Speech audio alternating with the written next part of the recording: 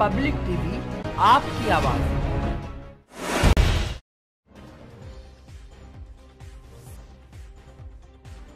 तेईस तारीख को मुरादाबाद में मतदान होने जा रहा है। इसको लेकर निर्वाचन आयोग द्वारा सभी स्कूलों, कॉलेजों में मतदाता जागरूक करने के लिए आदेश दिए गए थे, जिसको लेकर सभी स्कूलों ने बच्चों के माध्यम से रैली निकालकर लोगों को जागरूक किया। सब लोग भारी संख्या में पहुंचकर मतदान करें। इसी कड़ी में सिविल लाइन स्थित होटल अमारा के द्वारा रैली निकालकर लोगों को जागरूक किया गया।